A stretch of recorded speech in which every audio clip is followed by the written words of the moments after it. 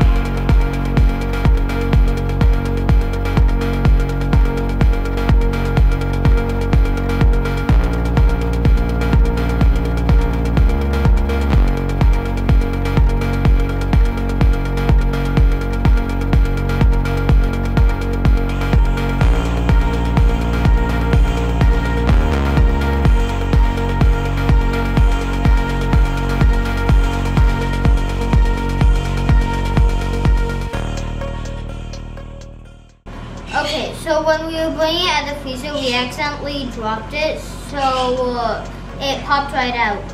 So what we would have done is that we would have grabbed at the end of a knife and started to tap a little bit on the sides.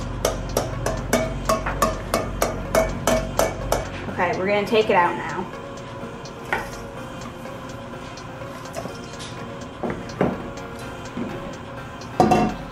And that's our chocolate stadium. We washed these off so we could eat the stadium afterwards.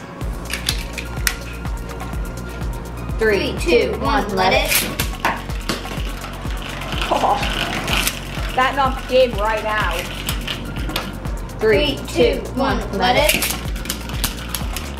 Oh wow, these are huge hits. And Gabe won. And three, two, One, let it. Stadium out on Gabe. Three, two, one, let it. Oh, you don't got stadium out. What? I got stadium out? You won again, Gabe. Three, Three, two, two, one, one, let it. So let's take a look at the stadium. So there are a couple big scratches, but the stadium is like three centimeters thick, so it didn't really do anything. Now we're gonna use uh, a Beyblade with a Lego tip. If you want to see how we made this, you can go check out um, our video, and there will be a link in the description below. I got the Lego tip, and my brother has the normal tip. Three, two, one, one, let it. Oh, I got stadium out right away. Three, two, one, let it. Again with me. Gabe's like throwing me off balance so much. Three, two, one, let it. Oh, double stadium out. Three, Two, one, let it. Oh, those were huge hits, but nobody got stadium out this time, which was good. Three, two, one, let it. Oh, I got stadium out again. So now let's take a look at the stadium again now that we use the Lego tip instead. So there's a really big mark right here where Beyblade just like got shoved in. So yeah, and then there's a bunch more scratches down over and around here. This is the tastiest Beyblade stadium ever. Hey, what about the cameraman?